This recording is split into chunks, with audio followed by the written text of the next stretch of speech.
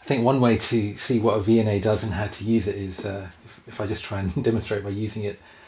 Uh, so uh, here's a real world task and I'm just going to try going through it and uh, I won't be able to explain everything um, all in this video but um, hopefully the steps can make some sense. Um, so in this uh, situation I've, I've got a tiny ceramic filter. These were popular in FM radios. This is a 10.7 megahertz ceramic filter, uh, and uh, according to the datasheet, this supports uh, input and output impedance of 300 ohms uh, for for this to function properly. Um, and I want to make this into a filter which works with 50 ohm input and output uh, because then it's a bit more flexible for use in a lab environment. so what I'm going to do is take that and fit that in here. Okay, and um, so this is cable connected up to the VNA. So what I could do, if I just directly connected this to the input of this filter, so ground connection there, and this side, uh, well, that's the same as ground, and here is the input and I can terminate the output with 300 ohms for now. Okay. 300 ohms, output.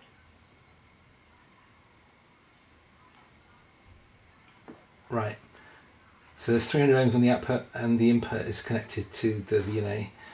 And uh, what I'm going to do, uh, actually before I do that, I'm going to take the, the connections from the VNA and I'm going to just this will make sense later, but I'm just going to plug this into uh, two, two rows here, which are not actually going anywhere. Uh, that resistor is there for a reason, but I'm not using, using that just yet. Uh, so it's just really going nowhere at the moment. Going to hit the calibrate button on here and uh, do calibration. Continue. Okay, it says calibrate open, and this is an open circuit here, so I'm going to click continue.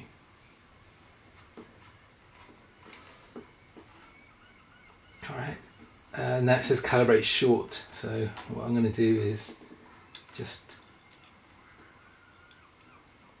short that here and click continue. Alright, so I'm trying to get everything in focus, it's a bit hard. Alright, and then that says calibrate load. So what I'm going to do is connect one end to each end of that resistor and it's a 47 ohm, approximately 50 ohm res resistor there. Sorry, let me try and get that in focus. Okay, and then click continue.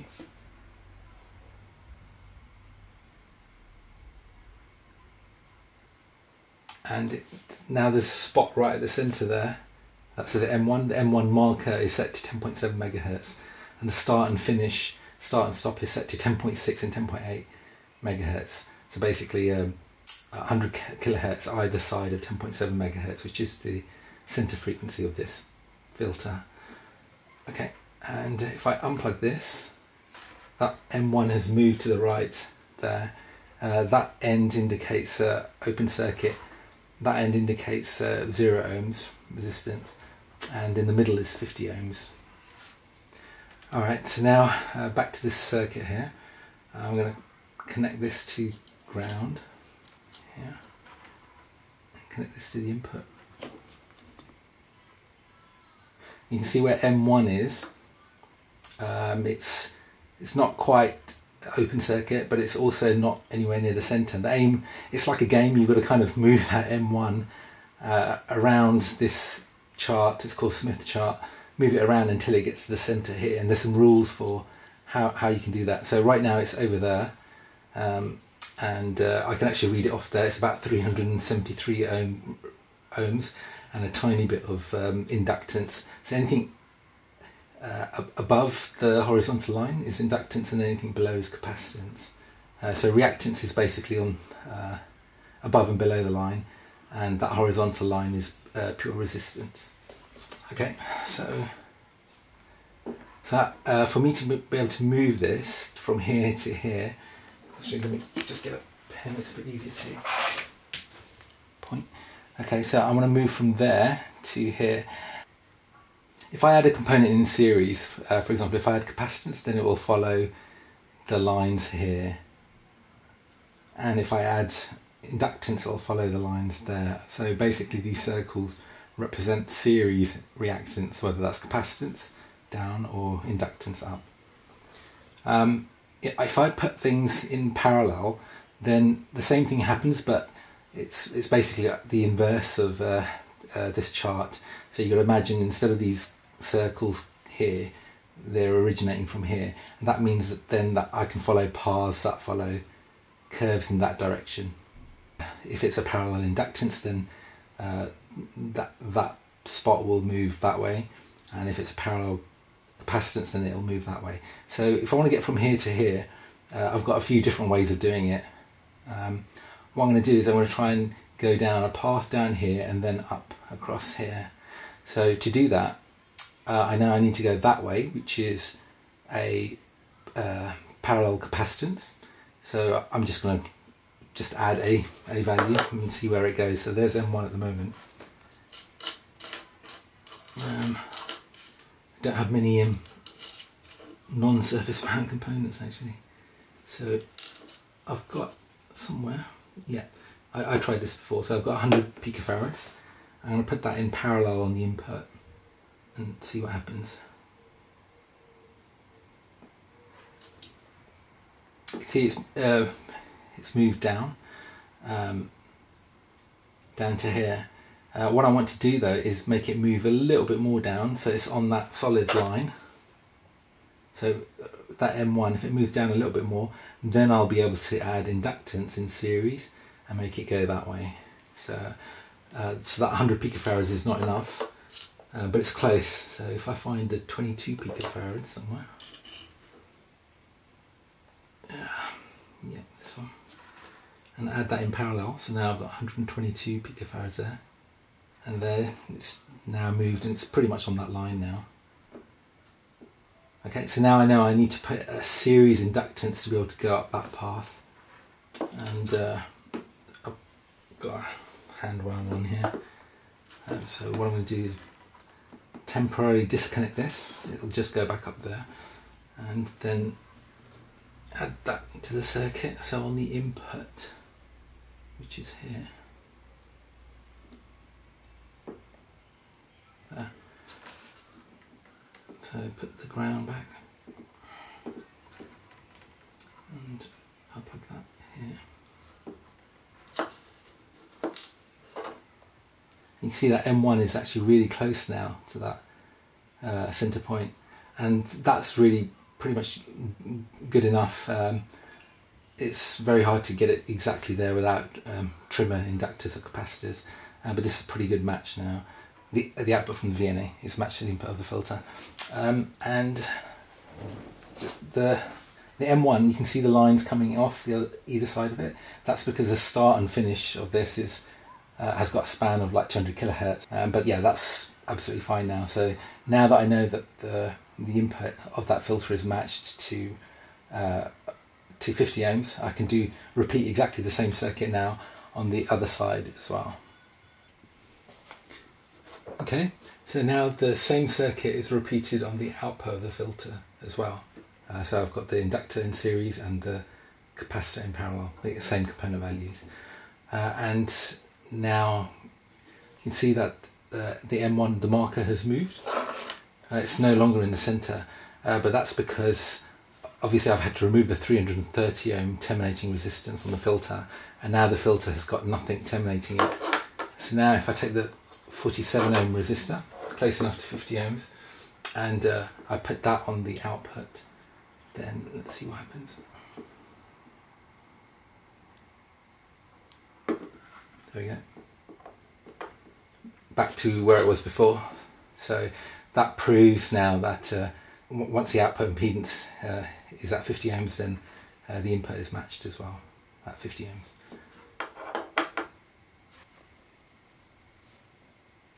Now I've removed the output resistor. Uh, so there's no 50 ohm resistor here, but now it's terminated coming out there into the input of the spectrum analyzer. I've, I've changed from VNA mode to spectrum analyzer mode. So now uh, the the input to the filter is connected to the tracking generator output from the spectrum analyzer, and the output from the filter goes to the input of the spectrum analyzer.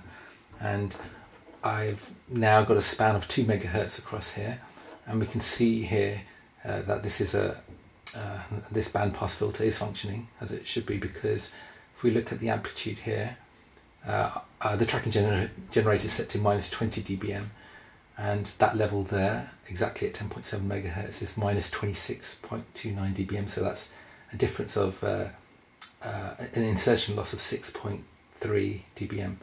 And that's well within the specification of 5.5 plus or minus 2 dBm um, is what the data sheet for that filter uh, ceramic filter says. And also uh, according to the data sheet at plus and minus 200 kilohertz from there uh, the level should be at least 20 dBm down uh, and it's more than that. It's minus 27 and minus 26.5 dB down so that's correct too to recap uh, what actually happened was uh, I had the VNA and there's a cable attached to it and uh, open short load calibration was done to the end of the cable there.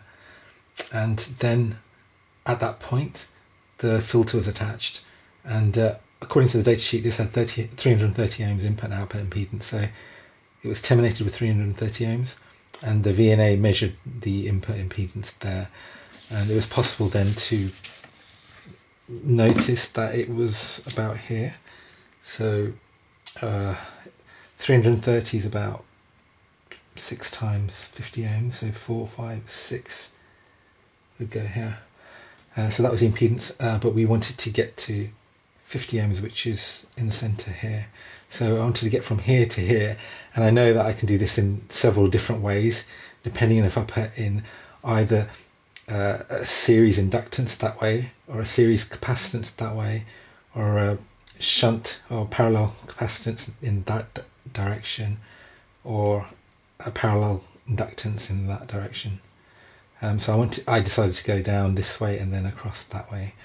Um, so uh, what I did was I added a capacitor, 100 picofarads initially, and that allowed the the Smith chart, the the, um, the output to go to about here with 100 picofarads. Uh, but that wasn't enough, so I added another 22, and that got me down to about here, uh, which was this line here um, so that, this was the 122 picofarads. Um, and then I needed an inductance. So from that point, I added an inductance, and I just um, I, I, knew the, the right one to add because I'd uh, already um, done the measurement before. Um, but if I didn't know it, I would have just added an inductance, and if it wasn't enough, I would have added more. And if I'd overshot that way, then I would have reduced the inductance uh, to get to that point here. And it happens to be 1.8 microhenries there. Um, so that then meant that I had the VNA and uh, I had the 1.8 microhenries and the 122 picofarads and the output was still terminated with 330 ohms and this then allowed the VNA by the way this measurement is called a S11 measurement um, because uh, this happens to be port 1 of the VNA, and we're only measuring port one. Uh, we're, not using the um, uh, port two uh, for this measurement. And uh, so from here, I was able to see the 50 ohms uh, input impedance now at this point. And then I was able to just repeat this circuit on the other side as well because this is symmetrical. Uh, it doesn't always have to be, but in this case it was. Uh, because the datasheet said that both the input and output was 330 ohms. That means that now here's the final circuit here, and uh, this could actually, in theory, all be boxed up, and you'd have like a, a, a module with 50 ohms input here, 50 ohms output impedance here, and the whole module then acts as a filter, and then it can be terminated with 50 ohms and to see the 50 ohms input impedance correctly here. Then I just uh, switch to spectrum analyzer mode and in that case, uh, a tracking generator generates a signal, and I can see the output on the spectrum analyzer here. And uh, from that, I was able to match um, the the spectrum analyzer output uh, with the datasheet uh, to see what the um, insertion loss was and uh, what the um, signal level was on the in the stop band. And that's it. I hope that was useful. Thanks for watching.